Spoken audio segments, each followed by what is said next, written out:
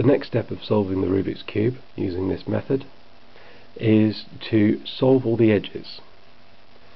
So first and foremost we need to make all the edges of the, the correct orientation. So before I've talked about doing things left-handed and doing things right-handed, we're going to change it so that everything we do is going to be right-handed. And the way we do that is we make it so that all the edges ha are, have yellow pointing up. So if this has got yellow pointing up, we can swap it for a piece that doesn't have yellow pointing up. So this one, for example. So the way we would do that is we would position it above uh, on our cycle and do our algorithm until it pops into the slot like that and now we would turn it round and see another piece. And again we would do our algorithm uh, until one of the yellows pieces popped into the slot. Again this way round. We'll see we want to do some swapping with this red one. So we'll do the algorithm again until it pops into the slot. And then finally we can do left-handed until it pops back into the slot now what we have here is we've managed to flip all the edges by doing alternate right and left-handed versions of the algorithm. Now that they're all pointing up we can we don't need to do left-handed algorithms anymore.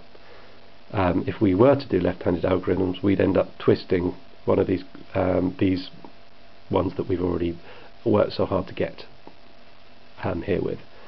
Now what we need to do is we need to position these so above their corresponding centers.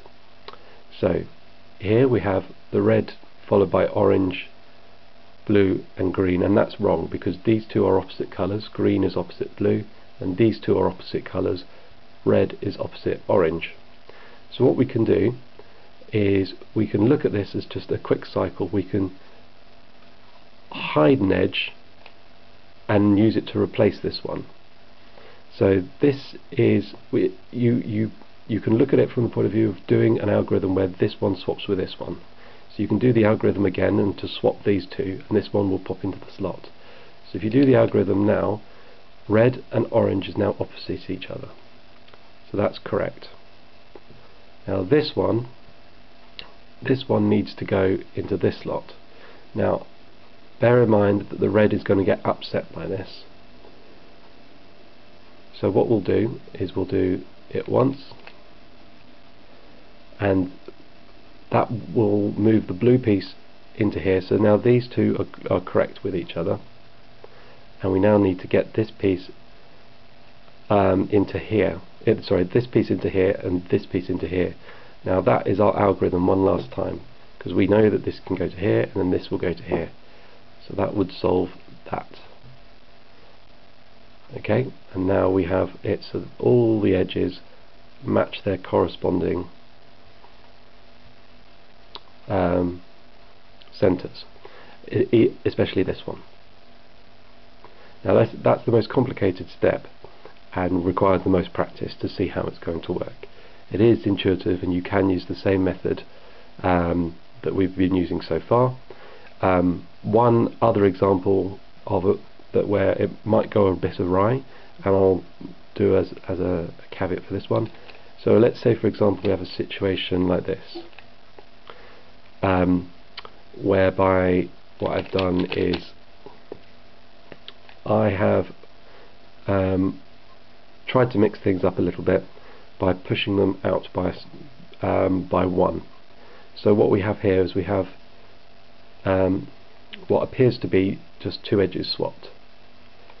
Actually, it's they're, they're not. These aren't swapped themselves. What we've actually got is we've got a cycle whereby this needs to go to here this needs to go to here and this needs to go to here. Remember edges move in a cycle of three. So the way you would do this is you would look at moving this one to here and when you move this one to here this one would be hidden. You then uh, move swap it for this one and try and get this one in. So it's, it's a bit confusing but what you can do is you can go you can hide this edge move the U face and swap it for this one and then because we know that you're going to go into the cycle here you can put it into this slot come back and finish off so all what you've done there is you've manually hidden a slot and just moved you've gone one two one two back again that's an alternate way of doing it because what you're doing is you, as, as I said is you're moving this edge to here this edge to here and this edge back again it looked like two edges need to, needed to swap. That can't happen. It has to be in a cycle of three. So the next step after that is solving the corners. Let's do that next.